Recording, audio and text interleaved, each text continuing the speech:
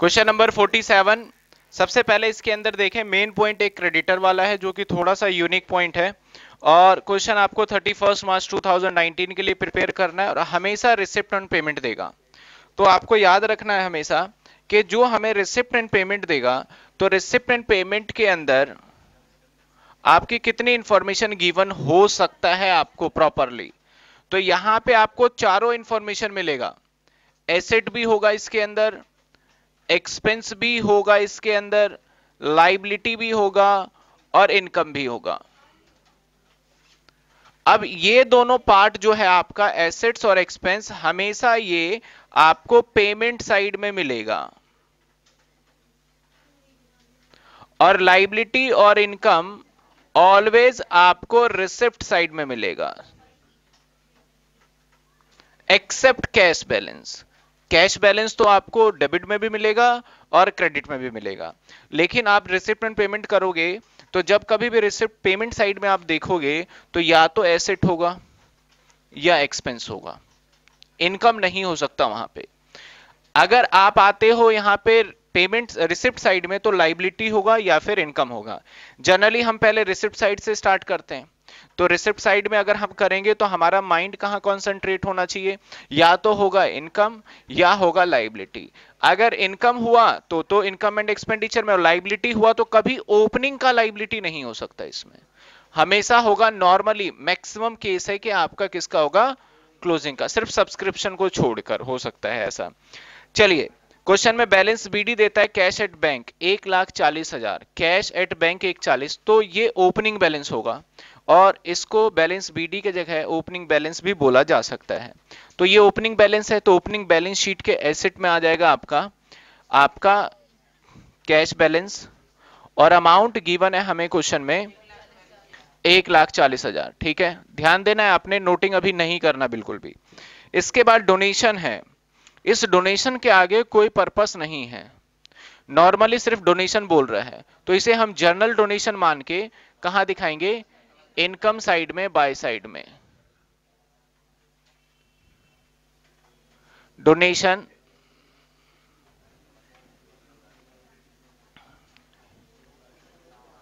And donation जो आएगा, वो पचास हज़ार आएगा। हाँ आगे इस पे एडजस्टमेंट हो सकता है। कई बार इस पे क्या बोला होता है कि 10 percent donation to be capitalise तो इस कैपिटलाइज मतलब कहने का है, अगर 10 परसेंट डोनेशन कैपिटलाइज के लिए बोल दिया जाए तो पाँच हज़ार यहाँ पे मत दिखाओ, यहाँ सिर्फ़ दिखाओ पैंतालीस हज़ार, और जो पाँच हज़ार कैपिटलाइज है, उसे कहाँ दिखा दो? लाइबिलिटी साइड में, ठीक है ना? जब कभी भी कैपिटलाइज कैपिटलाइज ना बोल के ऐसे ही बोल सकता है ten percent donation for building purpose तब भी आपका क्या होगा? कैपिटलाइज ही होगा, ठीक है? इस क्वेश्चन में हालाँकि नहीं बोला, लेकिन इस तरह की क्वेश्चन एग्ज़ाम में देखने को मिलेगा। अब ये सब्सक्रिप्शन एक लाख बीस हज़ार देता है आपको तो सब्सक्रिप्शन तो इनकम साइड में लिखेंगे।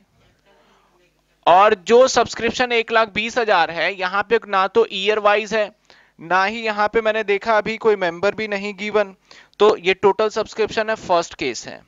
करा था हमने फ़र्स्ट केस अब इसके क्लोजिंग वाले को ध्यान से देखना पड़ सकता है हमें। इसके बाद कहता है एंट्रेंस फ़ीस टेन थाउज़ेंड तो मैं यहाँ पे एंट्रेंस फ़ीस लिख देता हूँ। अब एंट्रेंस फ़ी अगर एग्जामिनर बोलता, भाई, इसे कैपिटलाइज करो तो इसको हम इनकम एंड एक्सपेंडिचर में ना दिखा के हम दिखाते लाइबिलिटी साइड में। ठीक है? अगर होता लाइफ मेंबरशिप फ़ी तो क्वेश्चन में बोले, चाहे ना बोले, हम डायरेक्टली दिखाते कहाँ पे? लाइबिलिटी में। ठीक है? इसके बाद interest on investment interest on investment one thousand तो इंटरेस्ट इनकम है। वन थाउज़ेंड हमेशा याद रखना, जब कभी भी इन्वेस्टमेंट पे इंटरेस्ट होगा तो उस पर हिडन एडजस्टमेंट होता है। अगर आगे परसेंटेज मिल जाए तो उस पर हमें कैलकुलेशन करना ही करना पड़ता है। इसलिए मैंने इसे अंदर लिखा है। इसके बाद interest receive from bank normal income है। बैंक से मिला है तो इधर लिख देता हूँ बाई साइड में। By interest receive from bank four thousand इसके बाद sale of old newspaper old newspaper हमारा एसेट्स नहीं है नॉर्मल खर्चा है तो जितने का बेचा जाएगा सारा इनकम है और जितने का खरीदा जाएगा सारा एक्सपेंस है। इसमें कोई बुक वैल्यू वाला कॉन्सेप्ट नहीं है।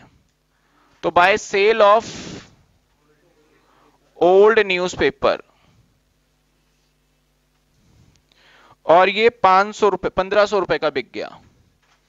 इसके बाद देता है सेल ऑफ़ ड्रामा टिकट्स अगर आपको डोनेशन मिलता डोनेशन फॉर ड्रामा और यहाँ लिखा था सेल ऑफ़ इनकम आया है ड्रामा टिकट से तो उस केस में उसी डोनेशन में ऐड हो जाता और उससे रिलेटेड खर्चा क्या करते हैं? वहीं से माइनस करते लेकिन यहाँ पे कोई ऐसा डोनेशन आया नहीं है तो सिंपल हमारा इनकम होगा।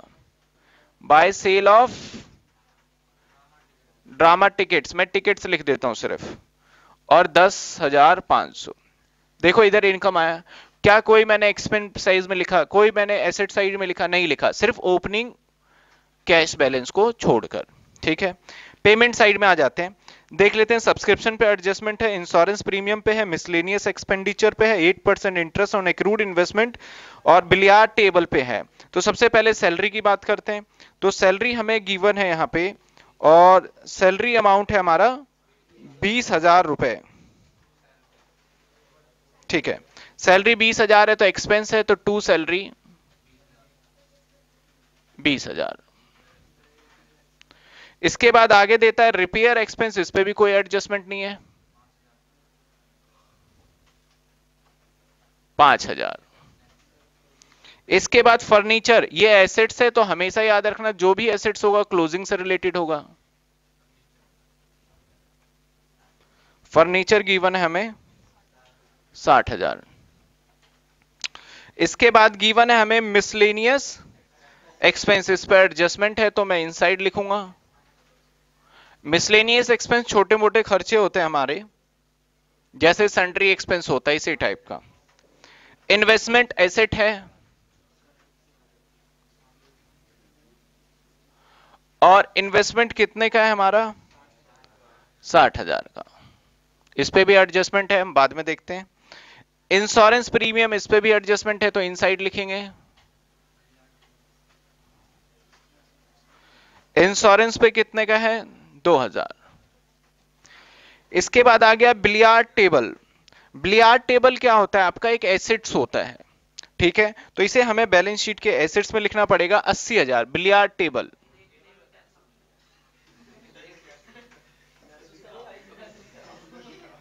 अस्सी हज़ार। अब इसके बाद आगे देता है पेपर इंक। पेपर पे जो भी इंक वगैरह स्टेशनरी है एक तरीके से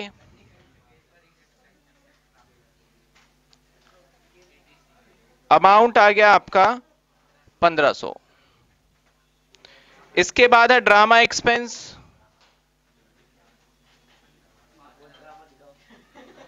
और ड्रामा एक्सपेंस है हमारा।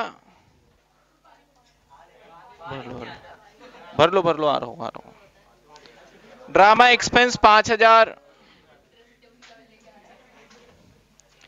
अब balance CD ninety eight five hundred. कहाँ जाएगा बैलेंस सीडी?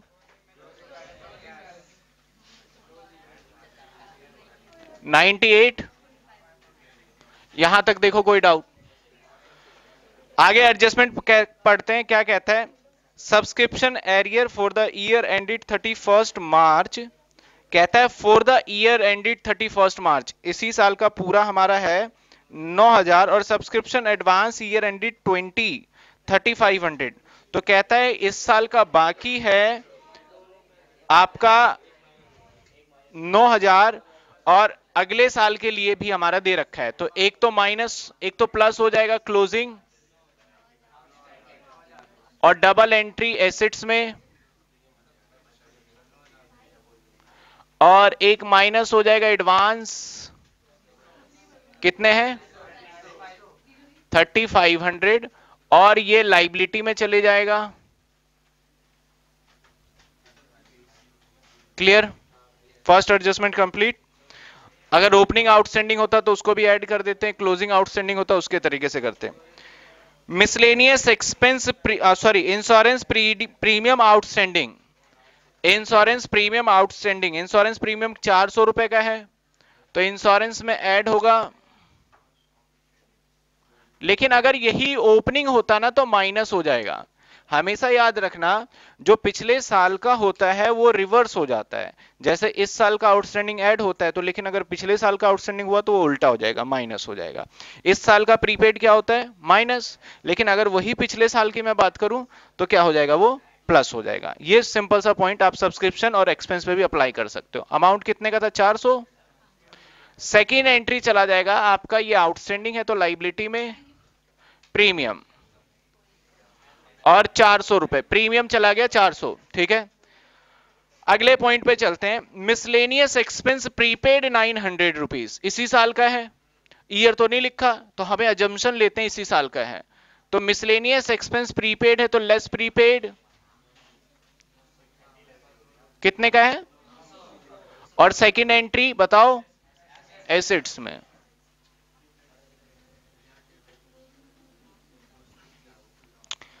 आगे देखते हैं क्या कहता है।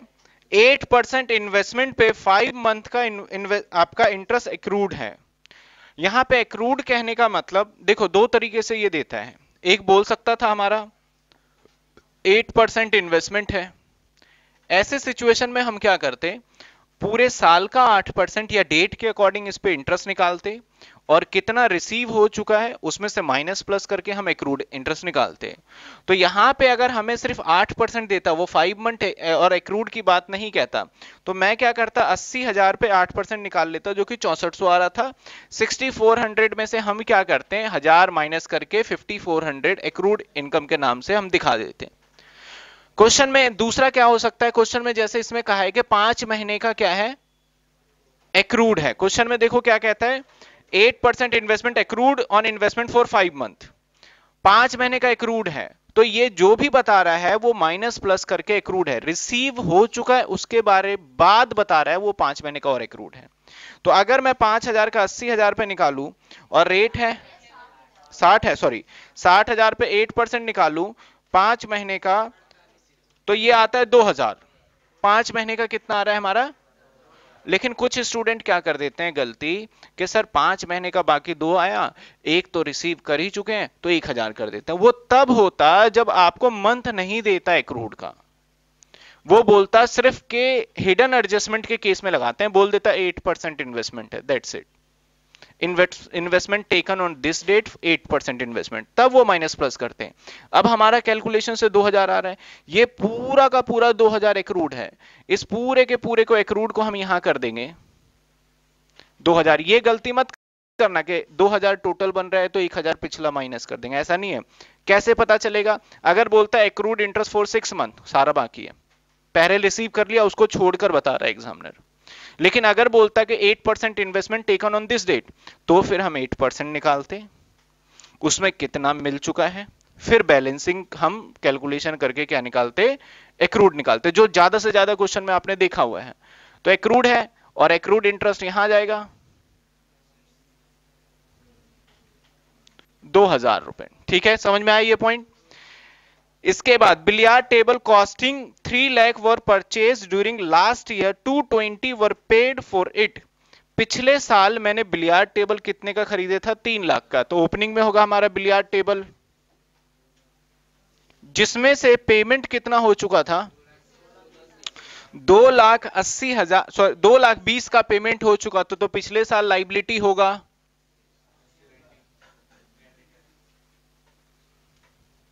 ठीक है? पिछले साल लाइबिलिटी होगा।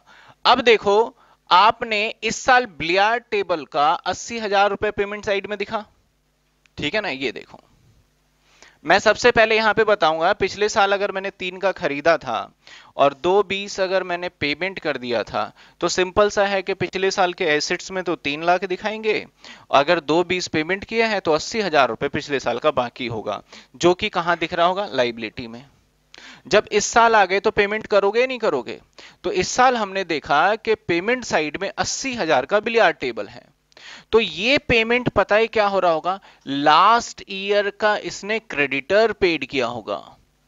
इसका मतलब ये है, अगर मैं नब्बे हज़ार का पेमेंट करता तो दस हज़ार का और बिलियार्ड टेबल खरीदा है और अस्सी हज़ार पिछला पेमेंट किया। तो यहाँ पे ये अस्सी हज़ार नहीं आना चाहिए।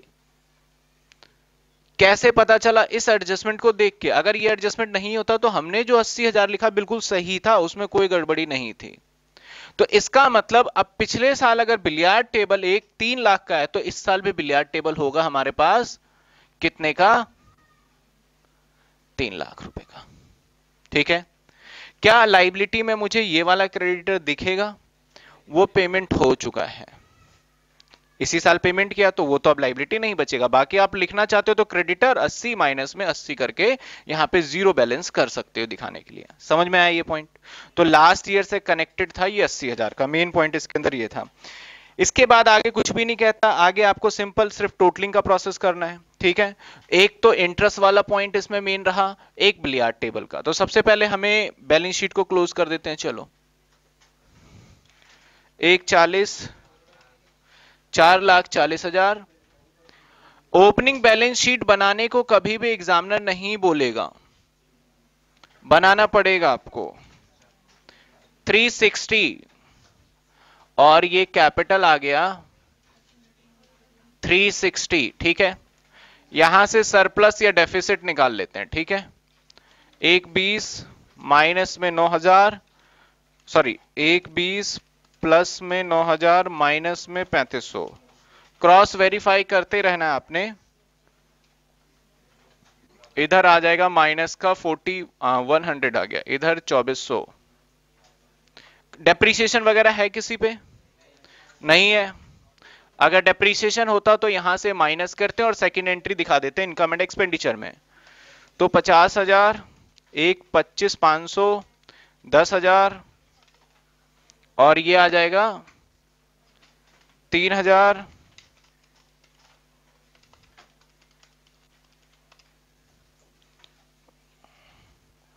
दो लाख पैंतालीस सौ। माइनस करते हैं, बीस हज़ार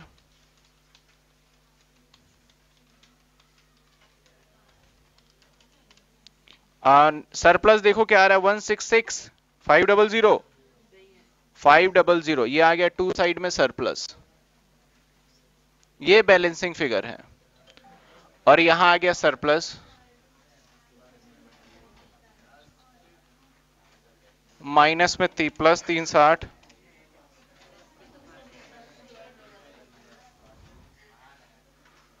बस इसे टोटल करना है. One five fifty three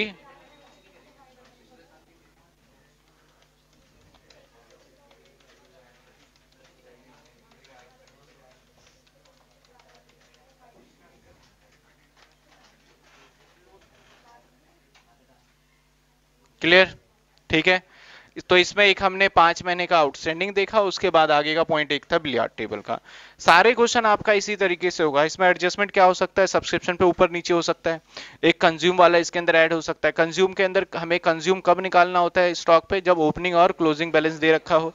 अगर सिर्फ़ दे रखा हो स्टेशनरी परचेज डायरेक्ट डाल दो, उसमें कुछ भी नहीं करना आपने। ठीक है? तो नोट करिए फटाफट।